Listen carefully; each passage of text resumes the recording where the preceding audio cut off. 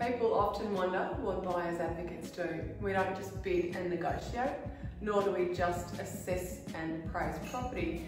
We actually can partake in any number of steps from strategy formulation all the way through to seeing people settle and get a great tenant. It's just a question of what do they need and why they come to us.